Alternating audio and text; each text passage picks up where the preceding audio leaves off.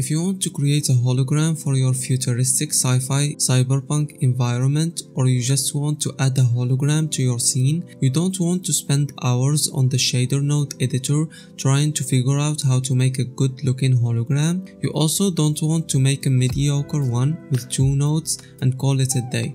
So you're either going to waste a lot of time on the shader or have a less eye-catching render because of a hologram. So in this video I'm going to show you a Blender materials pack that allow you to have tons of hologram materials in a click of a button. The asset kit is called Cyber Holograms and Cyber Holograms is a pack of holographic materials available in two versions.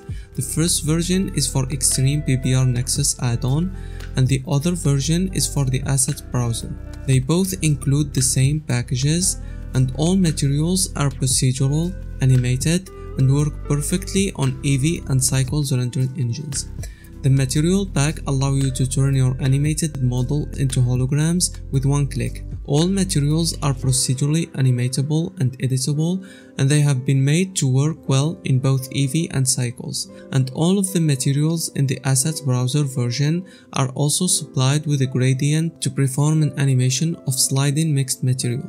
If you use Cyber Holograms in Extreme PBR Nexus, this will be much easier. All the materials are ready. Also in the version for Blender Assets Browser, the materials are organized with tags and categories. The Extreme PBR Nexus version includes an expansion pack. This is very convenient for Extreme PBR Nexus owners.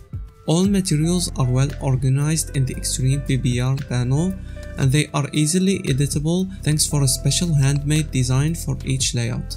I know some people are going to be confused about the two versions, so here are the main differences between the Asset Browser version and the Extreme PBR Nexus add-on version. So the Extreme PBR Nexus you will not need to enter the node shader editor to edit holograms. Here is an example of the difference of a material handled by Extreme PBR Nexus and Blender's normal shader editor.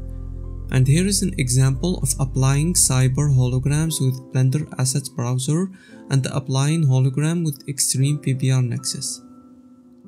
And here is another example with shader overlays into Extreme PBR Nexus add-on which allow you to mix the base material with the hologram you applied.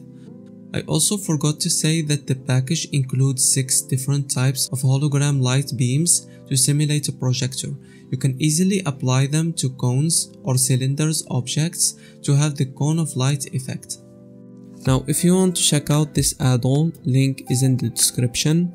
Tell me in the comments below what do you think about this add-on. Don't forget to subscribe for more videos like this one. Thank you for watching and goodbye.